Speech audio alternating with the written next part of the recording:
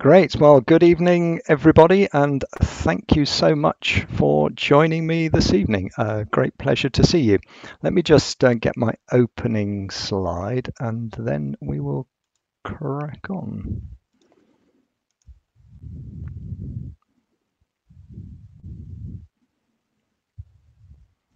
Um,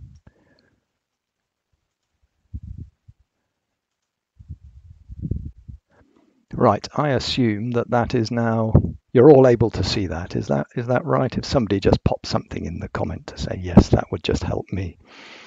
Um, fine, well look, and delighted to see so many people from all over the country this evening. Um, as I understand it, uh, somewhere in the region of um, 140 people registered and lots and lots of people from all over the country, from right up in Scotland, I see from Fife and Aberdeen. Shire. Wonderful to see you all.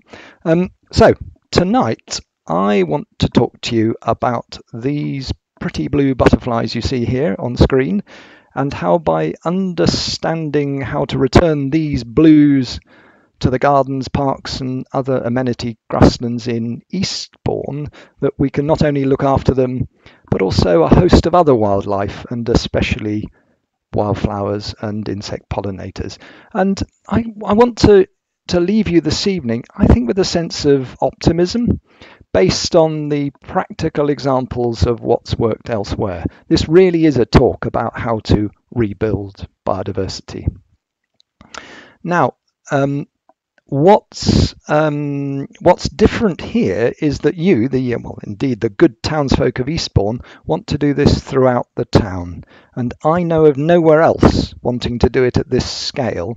And I strongly believe that this will be a successful venture because if everybody does something, then you really can build a network of high quality habitats throughout the town, which these butterflies they will respond to and they will colonize as a result. Now, I'm Phil Sterling. Um, I've got a lifetime interest in butterflies and moths, and for 30 years I've been involved in practical schemes to create wildlife habitats out of, well, nothing, bare ground. Um, and uh, much of my experience comes from my time working in local government in Dorset, um, where I still live, and from uh, habitat creation on the back of roads and uh, landfill restorations, mineral sites, and indeed, um, for a while, I was also in charge of the road verge management throughout the county and uh, was able to change the approach to road verge management, which I know so many people across the country want to see, and, and was able to put in place different practices which genuinely lead to saving money and delivering wildlife. Um, I now work for the charity Butterfly Conservation on a national program promoting what I've learnt, and that program is called Building Sites for Butterflies. Right. So um, tonight, see what what I want to do is just to give you my running order. Why butterflies matter. You know what's special about Eastbourne.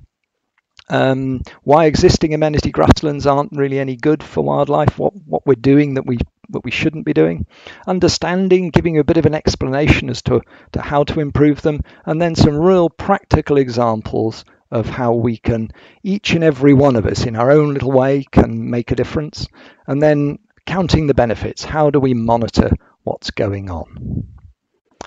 So, why do butterflies matter? Why have I shown you five blues there?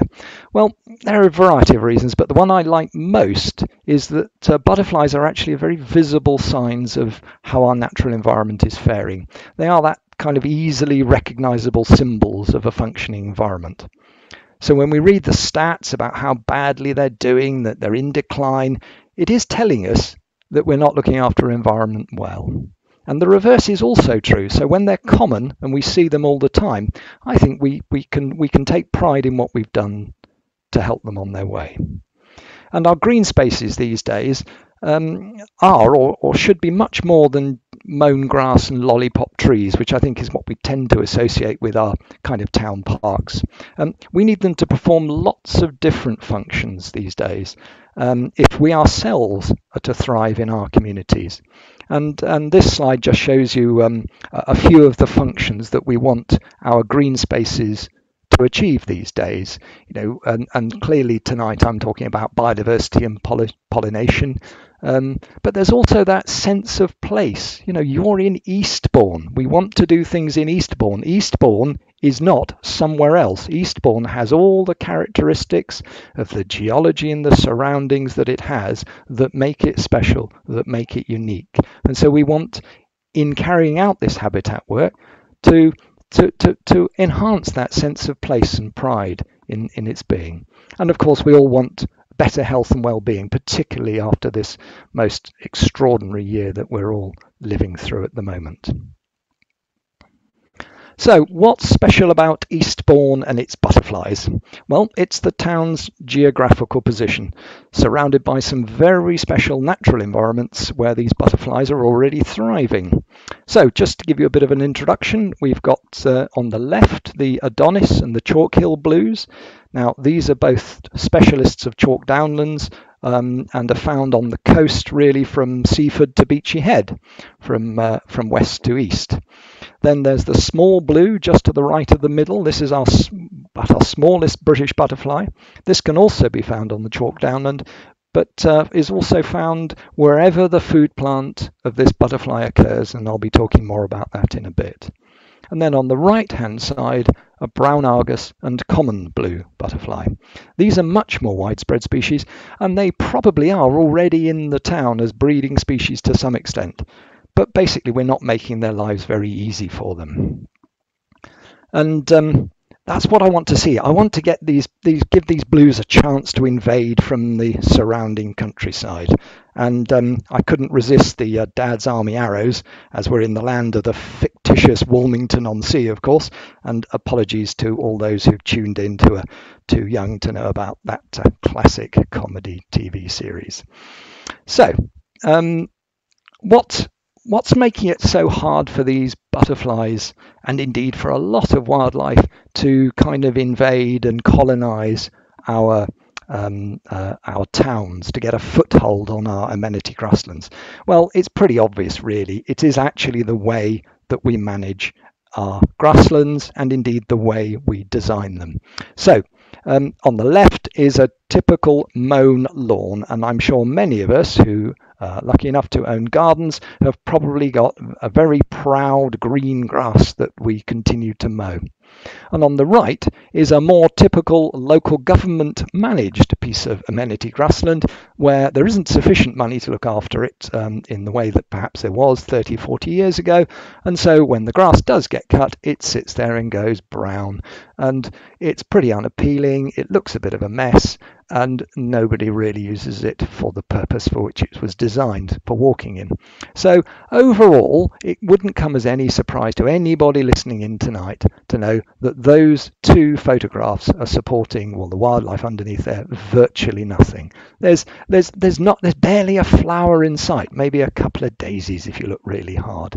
So that's not much good, and that comes down to how we design our, our green spaces is that we've tended to every time we go and design them we put in a load of topsoil on top of whatever the mineral or the subsoil is beneath and it tends to be 150 millimeters that goes onto every garden every open space every road verge and then it gets sown with a, an amenity grassland mix which contains a lot of ryegrass and almost none of that has got anything to do with wildlife at all we're planting grasses that aren't much good and there's no space for the wildflowers. And so that's that's the kind of the reason why most towns across Britain are impermeable to butterflies and particularly some of these blue butterflies is because there's no space for their for their um, food plants to thrive and there's not enough nectar sources that we're providing for them to to live on as adults. So how do we change this? Well, soil fertility is everything. Um, I think we think tend to think is that, oh, we make a, a site more fertile, we can grow more flowers in it. It's actually the reverse. And if you look at this slide here, on the left is, well, these, these two slides are exactly the same road verge, just 100 metres apart. And this is just down from my house in Weymouth. And this was a scheme that I was involved in, in helping. Um, and um, uh, on the left is a, is a verge that's um, that's got uh, uh, a decent 150 mil of topsoil, and this is a photograph taken in April, and the grass has grown long because it's early spring. And exactly the same will be true in lots of places in Eastbourne. On the right hand side, 100 metres away, is a place where my colleagues, engineering colleagues, ran out of topsoil. So they just scattered the seed on, on whatever was there. And look at the difference. As soon as you've got low fertility, you've got hardly any grass growth, but look at the other difference. There are lots of daisies. Now, I know daisies are not the common, and well, not the rarest wildflower on the planet, but the point is, is that is showing us about everything we need to know. That as soil fertility decreases, there are more gaps for germination, and our wildflowers are able to thrive because those grasses are not competing and smothering and choking the wildflowers. So, effectively, high biodiversity, the way nature designed it, is is by having low fertility grasslands. So our very best grasslands for wildflowers are those that thrive on the on and grow on the poorest soils. And poor soils really means low nitrogen. And those are the wildflowers we really want to see. So all those big competitor thuggish things like coarse grasses, cocksfoot grass and false oat grass and docks and thistles, they can't survive uh, as well in these really nutrient poor conditions because they can't suck up that nutrient and and um, and smother the wildflowers. So they all get a chance to thrive. So if we want high biodiversity, we want low fertility. And the very best time that I found to uh, experiment with that, well, I say experiment, actually put it into practice on a big scale. And I grant that this is not the sort of scale that we'll be looking at in in in Eastbourne, but you know, hear me out. This example provides you with the the base plan of what of what of why low fertility works. So here's a new road verge. This was constructed as part of the Weymouth Relief Road back in 2009 to 2011, and and uh, I specified hardly any topsoil at all, just a tiny scattering of a few millimeters. That was all. And onto that, I hand sowed a selected um, uh, wildflower mix. And in, in the selection of those, those were pretty much our native wildflowers, perennials, and one or two species in there which which I call pioneer species, those species which love to grow quickly and early and flower profusely. And the effect can be quite dramatic. So there we go. And there is the flower that's probably the most prolific that comes up most early, and that is the yellow flower of kidney vetch. Kidney vetch should be an abundant species all over Britain, but somehow we've managed to eradicate it, exterminate it, spray it, do whatever we can to get rid of it. And it's a real shame. It's a beautiful wildflower found from all the way from the from the south tip of Cornwall down on the Lizard all the way out to the Outer Hebrides. It should be absolutely everywhere, but isn't but it's a special special plant because it hangs on to one of our five blues, the small blue. And kidney vetch is the only food plant for this species. So because the food plant is disappearing, so is the butterfly. And the point is, in order to bring this butterfly back, we need to be spreading the food plant. And it's really not a lot more difficult than that. But we need to spread it in those low fertility conditions. Right, so next, so here, here's a picture, 10, this is the same road verge that you looked at in the last shot, but 10 years on. Now look at it. This is a photograph taken this uh, end of May, early June, and it's now a absolute carpet of pyramidal orchids, along with all the kidney vetch and the bird's foot trefoils and all the other things that we want.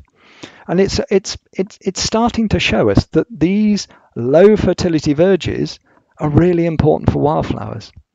There's 141 species on these verges that have appeared in 10 years, and remember, only sowed under 30 species. So this is a really powerful way of recreating biodiversity very, very quickly by having low fertility conditions. And better than that, 30 species of butterfly have now been recorded on these banks, including, well, there's the other four of our blue species that we're after. So these were agricultural fields before we built the road, and then we put the verges in, did the right thing with the verges with no topsoil, low fertility soils, and pretty quickly all of these five blue species have turned up. Now I can hear you say, well, that's all very well. It's all because it's in Weymouth and the scale of it and all the rest of it. How can we achieve this on a smaller scale? Well, I'll come to that. So what do we want to do in Eastbourne? How are we going to do this? Well, there are just a few key do's and don'ts that I want to go through, and then I'm going to look to the practical habitat creation in school grounds and public parks, changing how we do manage the road verges and open spaces, and then for anybody who owns gardens, how we transform gardens. So in terms of the key do's and don'ts, um, uh, well, we've already learned this evening that, that to get more wildflowers throughout the town, we have to find ways to reduce soil fertility. But two things we must not do, and that's just stop mowing. If you've got currently fertile soil conditions and you stop mowing, you end up with, well, most people might describe what they see in this slide as a mess. Certainly those who have to look after the parks and open spaces and the road verges would probably call it that, and their their kit, their equipment would not be able to mow it. The grass grows very long. Yes, there are wildflowers in there, but it's it's really hard to maintain when it gets out of hand. So I'm not after that, and I do not want you to create that. But if you reduce the fertility, you will not get that. The other thing that I'm not talking about is what you saw. Think back to the London Olympics and and outside the Olympic Park, those that amazing spectacle of of uh, of, of well, what were termed wildflowers. It's a pictorial meadow mix, and most of those species are not native to this country. Um, and of those that are, most of them are very rare, and there's hardly any species in that sort of mix that a butterfly will take one look at possibly the Rudbeckia in there, some of the brown butterflies might like to take some nectar from. But that's about it. And, and if you ever thought that poppy was a very important species in this country for wildlife, think again. There is not one single butterfly that takes one slight bit of notice of poppy. And it's not even a native species. It's a species that was introduced here a long time ago with agriculture from southeastern Europe. So there are some things we must do and some things we must not if we're genuinely going to encourage these butterflies. I grant you that these pictorial meadow mixes look wonderful and they lift our spirits, but please don't go away this evening thinking that they're the best thing for wildlife because they're not. Right, so how about the things that I would like you to do? Well, habitat creation, school grounds and public parks and open spaces. This does not have to be on the scale of the Weymouth Relief Road to be effective. And so what I'm looking at is for is for places to come forward and say we can create butterfly banks. And butterfly banks are basically piles of chalk or subsoil where there is no fertility or very low fertility where we can grow the wildflowers that these blue butterflies like. And I'll come back to that. So what we're after is genuinely a little sketch plan but just you can work out how many materials you need, what the cost's going to be, make sure that people are happy that it's going to happen. But it's a very simple construct of, of, of, taking away a bit of the topsoil and bringing in some chalk or exposing the subsoil beneath. That it's, it's no more complicated than that. But if there were, I don't know, 10 of those created across Eastbourne in, in parks and school grounds, then, then that would make a very big difference to the stepping stones for these butterflies to get through the town. And construction very simple, just a mini digger to spread out, I don't know, 20 or 40 tons of chalk onto, onto the ground. The bank, by the way, is not critical. Here, the bank has been created by the topsoil that's been scraped up and then covered in, in chalk. But you don't have to have a bank. You can have a flat butterfly bank. It works just as well from the butterfly point of view. And then you can um, you can well here's here's an example of where we've um, taken away the topsoil and and this is the subsoil that we're creating into the into that low fertility area. And both these examples that I've just shown you are from schools in New Addington in uh, South Croydon in London where we've been working on them over the summer this year. And um, and, and again to, to create these stepping stones in the community for butterflies And um, and here's some of the community that got involved in this one at uh, Fairchild School in New Addington, um, primary school kids who've been growing wildflowers. Now, just uh, you can see there, rabbit fencing may be needed. It's just possible some of these sites may need to be fenced against rabbits if there is a real population of rabbits around. Now, the wildflowers, I said I'd come back to those. Growing wildflowers is a good kind of community spirited thing to do, but we need to grow the right wildflowers. And for these blue butterflies, we need to choose their food plants. That is the food plants of the caterpillars that need that need to be planted out on these banks. Then the female butterflies can find them and lay their eggs and the life cycle goes on. And we're not talking about lots here, we're talking about three species in particular. Common bird's foot trefoil, which is one of the main food plants for common blue, kidney vetch, which you've already seen is the food plant of, for the sm small blue, and then horseshoe vetch for the Adonis blue and chalk-hill blue. Of all of those, horseshoe vetch is the only one which has really to be grown in chalk in order to survive in the long term. It will come up on other soils, but it tends to fade after about 10 years. So probably not a lot of point in planting horseshoe vetch in deep clay, but the other two species will love it. So a really good thing to be doing for, for kids, for parents, for community groups to be growing wildflowers and planting these out on the banks. And here's an example of a successful bank. Um, this is Dorothy Stringer School, not that far from you, just down the road in Brighton. Um, this is one created in the mid 2000s, and um, I think there are there are over 30 species of butterfly that have been seen in this area, and certainly all five of the blue species uh, have been seen in and around and are probably breeding on these uh, on these uh, chalk butterfly banks that have been created. So we know close by in Eastbourne that this can be a success. Now, the next thing I want to move is to uh, so that's our, that's our schools and open spaces. I really want to to get you to think about where you can create butterfly banks. The next is is I'll canter through changing how grassland road verges and open spaces are cut.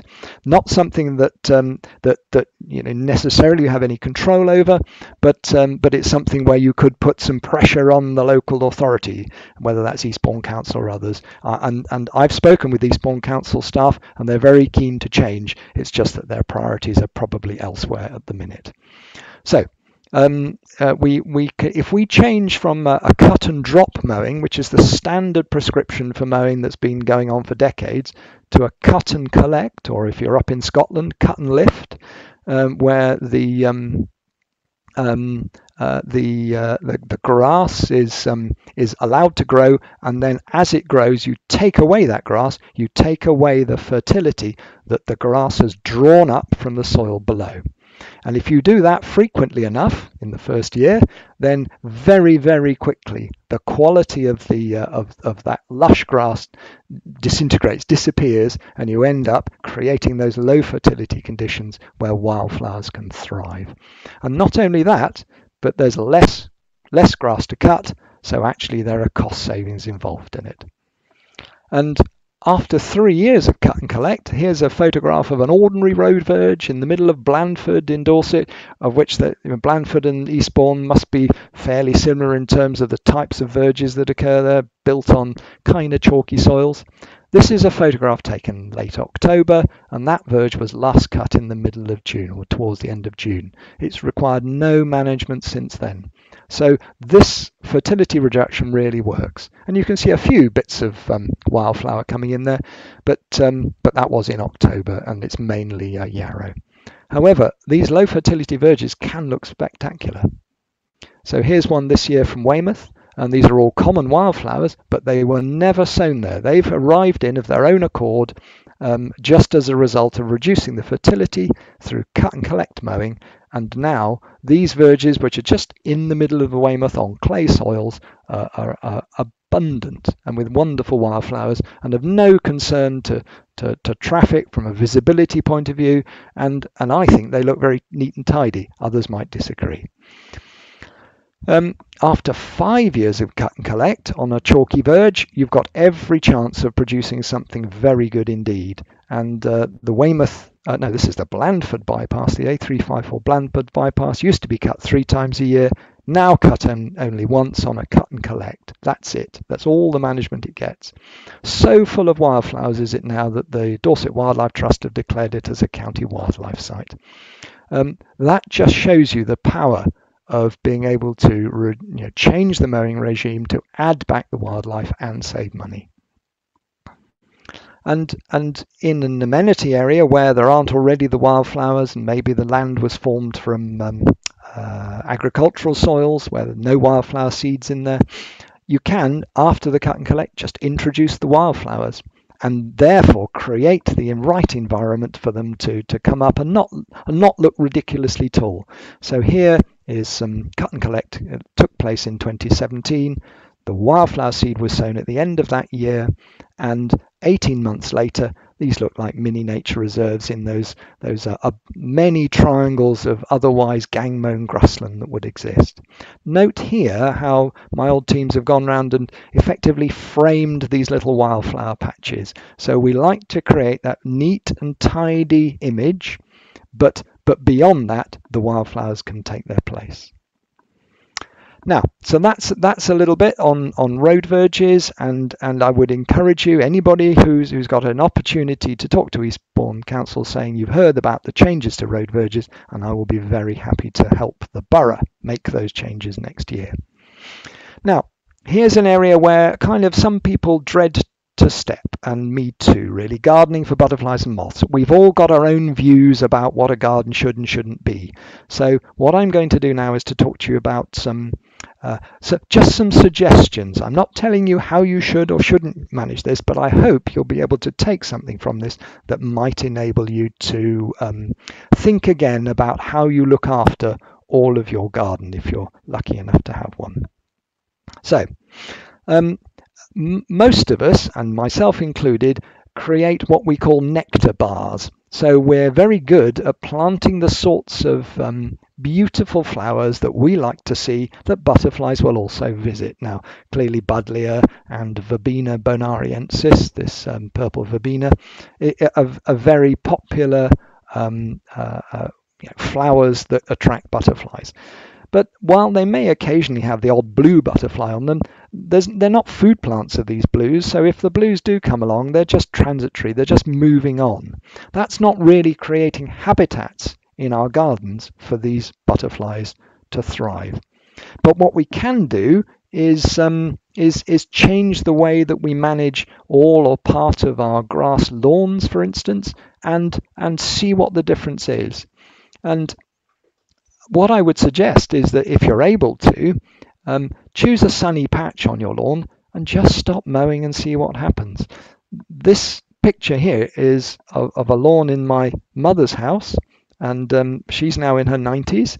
And, and I just encouraged the gardener not to mow a particular patch for a while. And this was last last summer. The, the, the lawn has been mown for the last 30 odd years, at least as far as I can remember. But when you stop mowing, you just see just how many wildflowers there are. And so there's common bird's foot trefoil and there's lady's bedstraw and there are already common blue butterflies now breeding in that garden where they never were before because they never had a chance to nectar and lay eggs and that was just a relaxation in mowing. So for some people, their lawns already in Eastbourne will be full of wildflowers that have just never had the chance to flower and set seed and allow the butterflies and other pollinators in. So go and have a look and see what's already in there. But in my garden, I've, I've, I've gone and bought plug plants or grown them from seed and put them into the garden, into the lawn. And then you can just relax that mowing. And uh, Plantlife, um, a plant charity, they uh, in the last year have been suggesting no mow May, as in please don't mow in May and go out and count the wildflowers that you see and see how many pollinators there are. My view is it would be even better if you had no mow May to August. So over that summer period, which is the main activity season, just don't mow between May and August. And then you can do it either side of that, but just allow those wildflowers to see and just find out what's there. Go and sit down and watch what happens of a lunchtime and see on a sunny lunchtime whether you can see butterflies coming in and enjoying your patch. And there's um, there's a, a, in the front garden of my mother's um, mother's garden there. It's underneath the trees, but they've got black medic and um, and Germander speedwell in abundance there's no need to mow that. That's not been mown for a month. There's no need to do anything, and it's beautiful, beautifully full of wildflowers. So, and here's one where this is back in Weymouth now, where um, the, the the cut and collect regime has has has got going, and so this is all common bird's foot trefoil, and and uh, a few yellow daisies, uh, where where they no longer need to mow. It's very neat and tidy, but because the bird's foot trefoil was already there, it now flowers profusely, and there's a colony of small blue butterflies, and also brown argus has moved in there. And this is this is Chatsworth House up in Derbyshire. Just put it in there because even the most formal of gardens and show and displays have really got into wildflowers these days. So I would encourage you to find a patch of your garden somewhere in the sunshine where you can uh, go and plant the wildflowers, sow the seed, and get the management right to try and encourage these butterflies. Now, what I'd just like to give you just a few more ideas of what I'm doing to um, our own garden here in Weymouth. And, and this was a picture, um, I think it was shortly after lockdown. Um, not that I was bored, of course, I'd already got this planned, but basically I decided that we've got two patches to the garden. Um, in front of the trellis is a formal flower area. Behind the trellis is, is, is very definitely for, uh, for butterflies and moths and pollinators and the rest of it. This formal area used to have mown grass where you can see sand. We got rid of the grass and planted it with um, with bird's foot trefoil and with chamomile.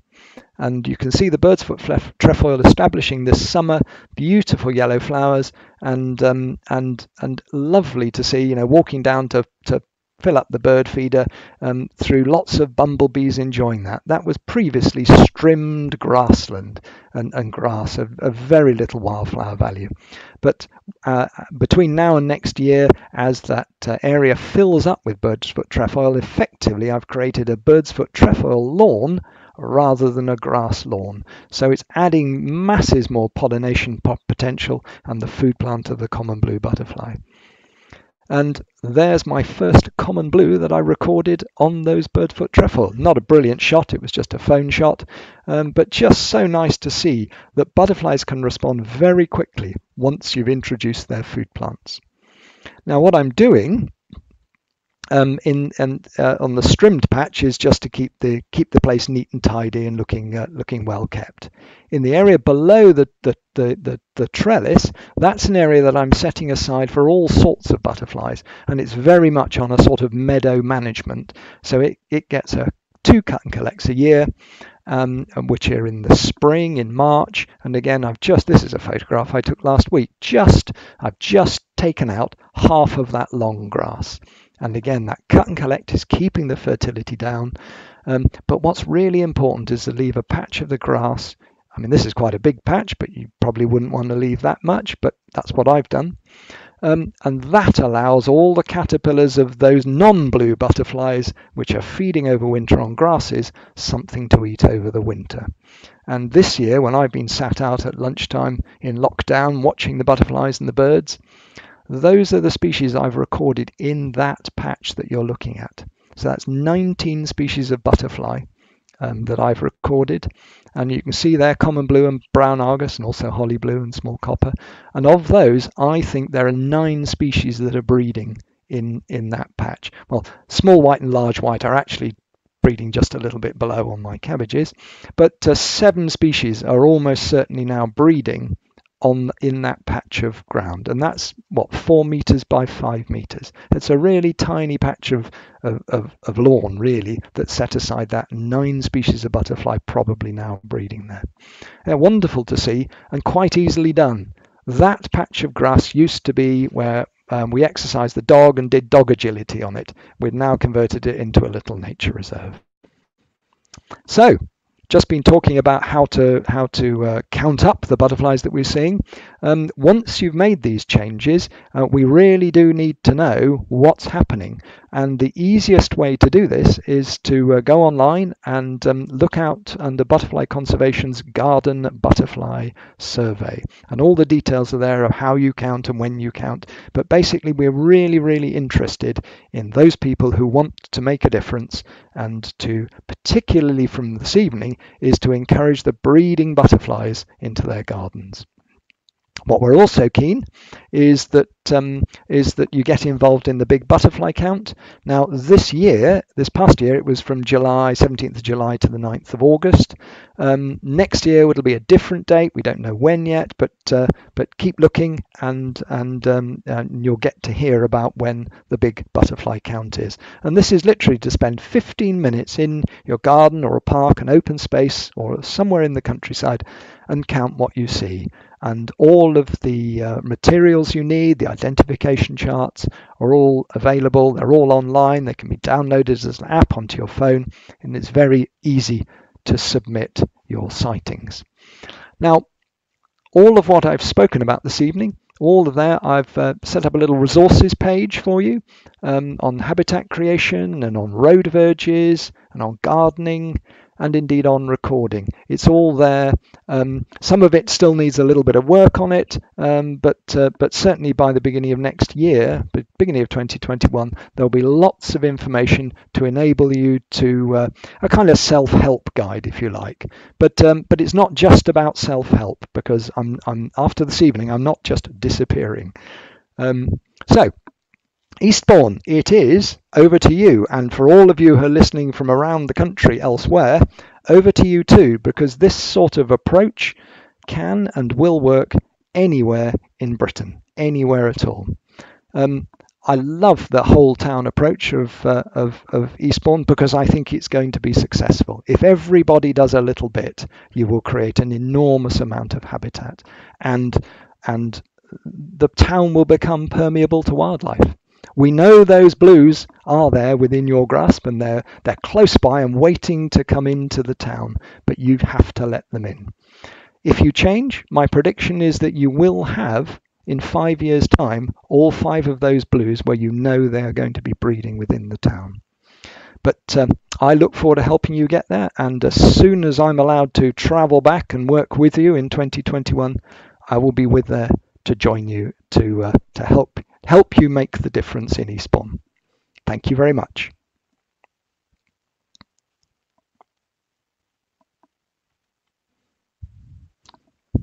Oh, and um, if you've enjoyed this presentation, you want to give us a donation, then I'm sure um, Butterfly Conservation, the charity I work for, will be delighted uh, for your donations. And indeed, you might well be able to consider joining the organisation.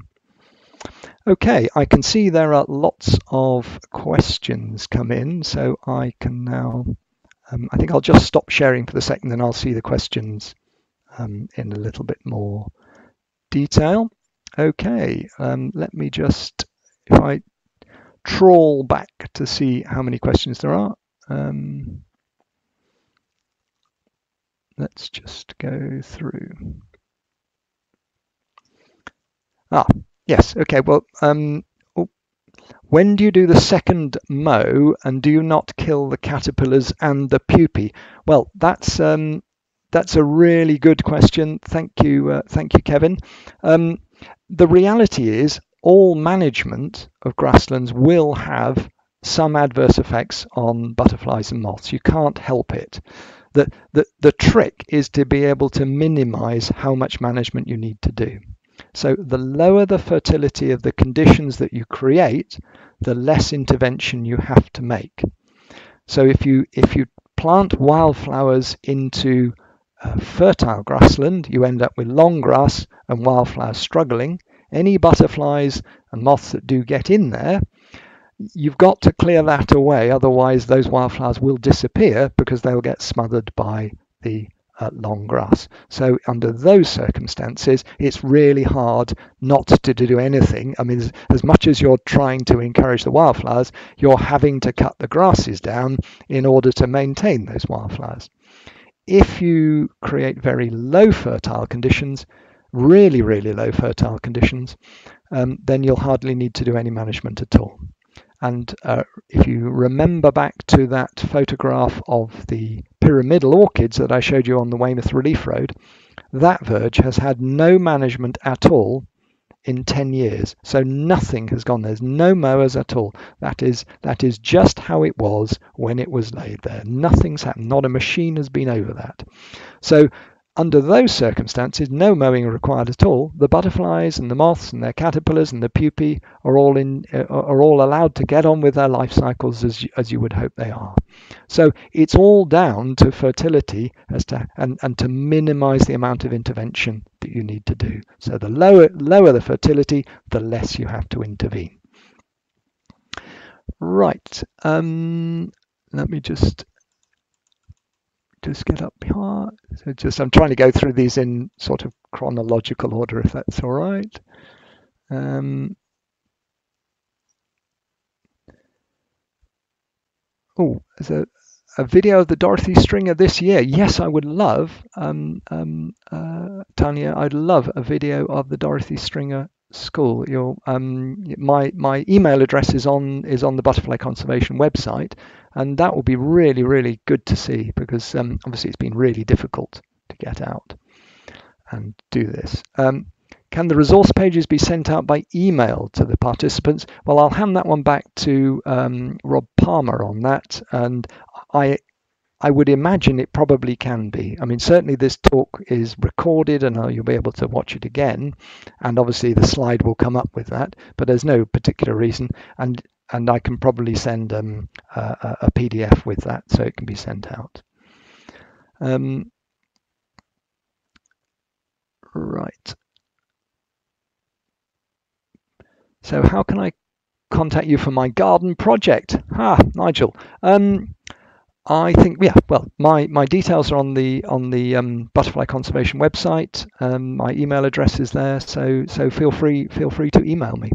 Um, uh, know, as, as, you can imagine, the more I go out there and talk to people, the busier I get. But um, so bear with me if I can't get back to you instantly tomorrow or, or, or after you've written. But uh, but I will be in touch and and um, you know very happy to to uh, to to help out. Ah, thank you, Ben. Is there uh, a resource that identifies pioneer species per soil type uh, for the non-botanists? Well, that's a very good point. Um, I think there probably isn't, but it's very much something that I want to be drawing up while I'm still doing this project. I mean, I think I, I want to be able to help anybody who's um, you know involved in um, project design, the landscape profession, um, one of the schemes I've been involved in uh, just recently is advising the um, approaches to the Silvertown Tunnel, which is a relief tunnel for the Blackwall Tunnel in London. And um, uh, there, um, the landscapers are are really, really keen to have no amenity grassland whatsoever, but to create what they're calling brownfield land. And so that is effectively um, uh, land with no topsoil at all, just to grow wildflowers, for the simple reason is they do not want to have to maintain those open areas uh, for safety reasons any more than they absolutely have to. So I'm coming up with a species list of all of these species which are, which I think we they would be good for wildlife, but unlikely to be a pain in terms of spreading. The one thing that I would say is that um, when we create these low fertility habitats, there is always a risk of non-native species starting to spread. And I suppose by that I would mean buddleia. We love buddleia, but please keep it in your garden rather than out in the wider countryside um, because it does spread on bare ground and it's very difficult. It does smother some of our wildflowers. Other species that can do that include um, uh, wall cotoneaster, which is which is a bit of a pain. But um, um, that is a resource that I think I will be producing. Um, bear with me, Ben, and and it, you know probably early next year that will be available. Um, yeah, so the, the list of resources, I think I'll send a separate to, to Rob Palmer and, and we'll, we'll get that. Uh, three questions in the Q&A at the bottom. Yep, I will look at those. Thank you for letting me know. Um, let's do those Q&A at the bottom. Right. unanswered questions 11. Right, okay. Um, where would you go for wildflowers, uh, wildflower seeds, to be sure you get the native ones? Well, that's a very interesting one. Um, uh, a number of the rep there there are i mean it's very difficult I'm, it's not my job to advertise these companies in particular but there are particularly well known ones over in east anglia um, that are very good um, and uh, just local to me in weymouth there's one at osmington um, which i will tell you the name of that's heritage seeds. Um, that's uh, they're very good. I mean i think if you've got concerns about native seeds, then the largest, most reputable of them all uh, will guarantee their local source. And that means they've been locally harvested from fields, often from nature reserves or triple SIs across the country, so that they can guarantee the provenance. So when I was um, working on the Weymouth Relief Road, um, uh, the the seed suppliers, which were there were two of them, um, were able to guarantee that all of the seeds that, that I sowed that I hadn't hand collected myself had come from southwest England or closer. And a number of them were from Dorset, and they were able to list where they'd come from. So if you're unsure, ask your seed supplier so that they can give you a provenance list. That's very much the, uh, the best thing to do. Right, uh, where do blue butterflies go in winter and where do they pupate? Great. Well, mm, um, it depends on the blue butterfly. Uh, most of them exist over winter um, in the caterpillar form, um, having not pupated. So, so um, uh, some of them will be small caterpillars. So if we think about the Adonis blue and the chalk-hill blue, those are, are, are very small larvae over the winter and they, they feed up in the spring. Now, um, uh, the common blue is a fully fed caterpillar, pretty much, uh, in the late autumn, and then it hibernates on the ground as a caterpillar um, in the in in its cocoon, waiting to pupate in the spring, and the same is true of the uh, small blue. So, um, so where do they pupate? Most of the blues pupate on the ground. Um, and indeed, uh, holly blue, which, as you probably know, is a, is a species that you tend to find in ivy and, and dogwood and holly, uh, the caterpillars of those go down onto the ground and, and ants tend to protect them and hide them um, but before they pupate and can sometimes even take the pupae underground. So, uh, so they tend to live on the ground as pupae. Right, next one. I uh, know Eastbourne has been selling its arisings for heat capture. Are local planning authorities aggregating to achieve biomass to fuel recapture to make efficiencies of mowing? Well, the only place I know in the country that is systematically doing that is Lincolnshire. And there they are taking their um, uh, uh, grass arisings and feeding them into biodigesters. Now, that's not easy to achieve, particularly if there aren't biodigesters in the area. Um, uh, but I, but there are plenty of things that I think we should be doing with woody arisings. That the problem comes as to how far you have to take the wood or the grass to achieve the the fuel gain that you want. Um, because if you have to transport this very low grade material any more than I don't know about five miles, the economics don't really work very well. Okay, um, copies of the webinar, well, Making Natural History has, uh, has given you the link to that. Um, right, uh, could I say a bit more about managing tall ruderal herbs uh, response on newly created soils? Uh, I think Dorothy Stringer School went through this. Um, uh, yes, very definitely. Um, tall ruderal herbs are, um, are, are very. I mean, the thing about disturbance that there's this sort of triangle of, of, of stress. So, so we're after the conditions where you've got bare ground, where the plants that survive are really stressed and can cope with that stress so they don't grow very tall and they're after longevity. As soon as you disturb the ground, you release a whole lot of nutrients and seeds, and there's an awful lot of stuff going on in the first couple of years. What I would suggest that happens when you get tall ruderal herbs, and those could be, they, they could include docks and willow herbs and and these days um, blue flea um, no, Canadian fleabane is is a is a, um, a non-native species that's spreading all over the place.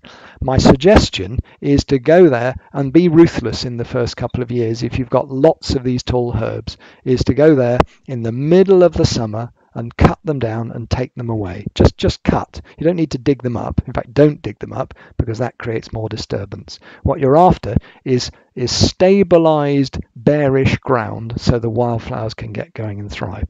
So I would cut them and take them away. And by doing so, you're removing more nutrients and allowing those those stress tolerant wildflowers to survive. Uh, Wildlife Trust has introduced sheep grazing being uh, common and small blues on it. Is this going to cause the blues problems?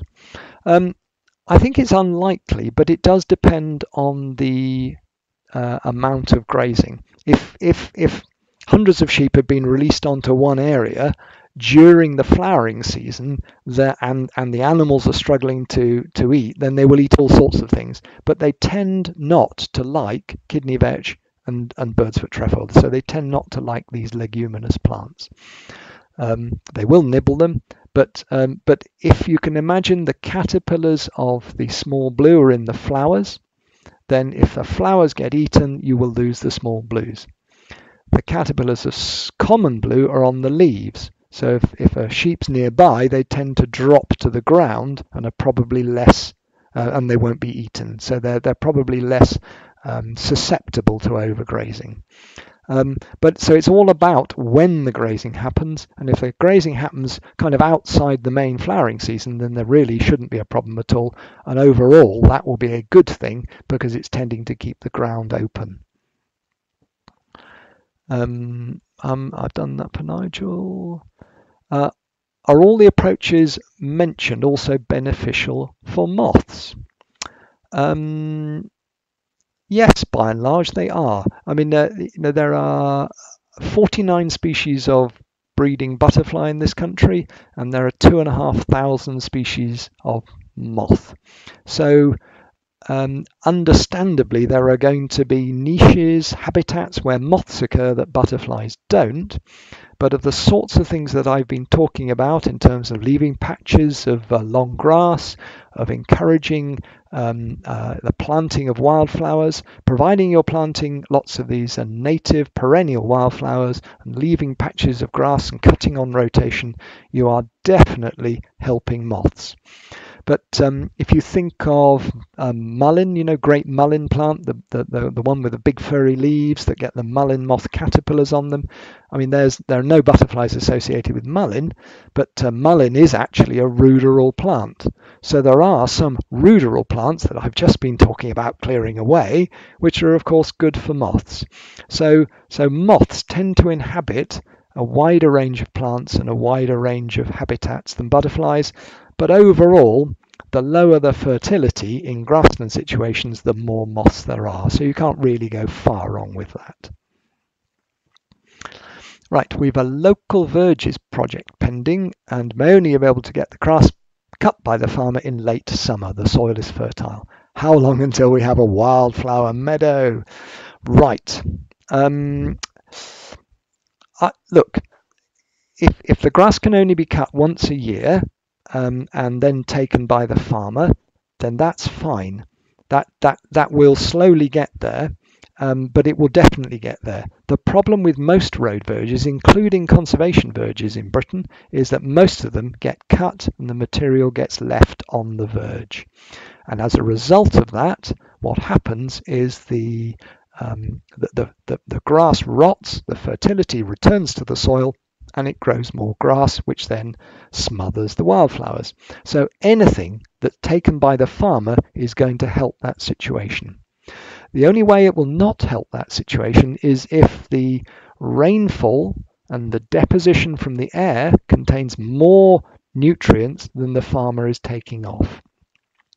So the, the one thing to do, although it may sound slightly perverse, is to encourage the farmer to take the crop as early as possible.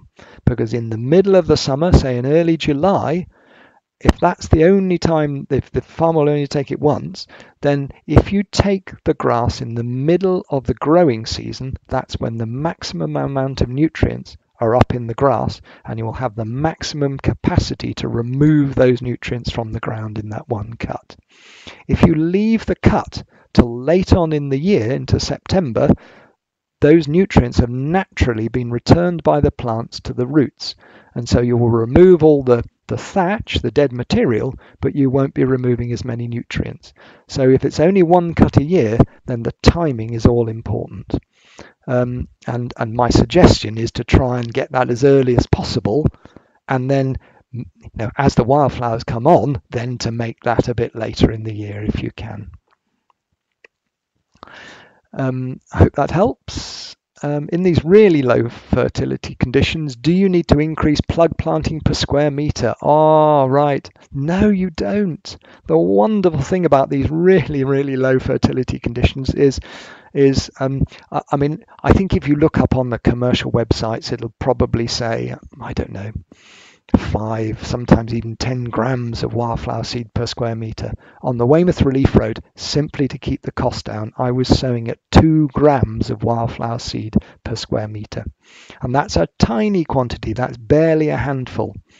Um, and what happens is that when these flowers flower and they set seed, that seed is good quality seed and it falls onto ground that's got lots of gaps in it and so it's self-perpetuating. And the fact that the Weymouth Relief Road was sown in 20, 2009 2010 and and those wildflowers are just keeping going year in year out without anybody doing anything is is is manifest shows you just how powerful this um, this uh, approach can be. Um, it is remarkable but you don't need much much to kickstart the process and then sit back and let nature take its course. Oh, here's interesting yellow rattle. Does yellow rattle work as a way to reduce grass competition? Um, uh, or is it missing the point of reducing fertility? Well, Andrew, that's a that's a great great question. Um, yellow rattle works best when fertility is already being reduced. So if you put yellow rattle into a really fertile soil, um, you have to work very hard for that yellow rattle to grow. Yellow rattle germinates in the spring after it's been wintered in the weather, so it needs a, a bit of a frost and cold conditions to get it to germinate. If you look at most fertile grasslands, over the winter the grass keeps growing and so by the spring there's no light to enable the yellow rattle to germinate. So if you've cleared a fertile grassland harshly in the late autumn and sowed the yellow rattle, then there's every good chance yellow rattle will come up in the spring and start to get to work on the grass roots and suck the life out of those roots so the grass doesn't grow as strong. But it's so, so much more effective and so much easier if you've already got a, a grassland that's already um, been been defertilized. It's already had nutrients removed, and then there are enough open spaces that you don't have to work hard to get the yellow rattle to germinate. Once yellow rattle is in the system in a fairly low fertile condition, it works with you very very well indeed. Um, it's it's more patchy than a cut and collect because yellow rattle tends to come up in some areas some years and other areas another, but it's a lovely plant to have but in my view, it's it's an aid rather than a solution. Uh, what success have you had in persuading local authorities and town councils to invest in cut and collect machinery? I know one problem is having somewhere to compost the waste. Um, uh, so it's interesting to see how quickly the fertility drops and therefore the amount of cuttings is reduced to very low levels. Very good, Tim. Um, uh, I've had some success. So Cornwall Council have got um, cut and collect mowers, South Gloucestershire Council, Medway Council, um, uh, St Andrews um, Botanic Gardens are doing it. Scattered around this country are some councils that are either Buckinghamshire Council or about next spring to start trials. Uh, TFL uh, were starting trials this year, but I think they've had to be delayed till next year. I'm out and about talking to local authorities all the time, and I'm getting uh, good responses. Um, but it does take time for change. And some of that time is about investment in machinery because the machinery is at least twice as expensive as a standard mower. And some of it is about reluctance to go down the route because of this disposal of arisings. What I uh, have encouraged the staff to do in Dorset Council was to dispose of the arisings as close to where they were cut as possible. Excuse me a minute. that is, um, you know, if they've cut them on the verge and there's a hedgerow or an area of bramble or a new planting area, tree planting area, then put the grass arisings in that area. So effectively, you move the grass arisings around from where you've cut them to somewhere very, very close by. And that system is now uh, working across Dorset in all of the towns where there is cut and collect. And that also means that it remains legal to be able to place those arisings on the road verges because if the material is cut on the road verge and disposed of on that road verge, then it is not a waste, so it doesn't require any licensing. So it's very simple. Much as I would love to do something more useful with those arisings, I don't think it's um, that bad an effort to be able to encourage those arisings to be used as a mulch to grow trees and shrubs, which of course then convert into above ground carbon, so the carbon storage. So effectively, we're moving the nutrients around in the system. I talked to the local authorities about that.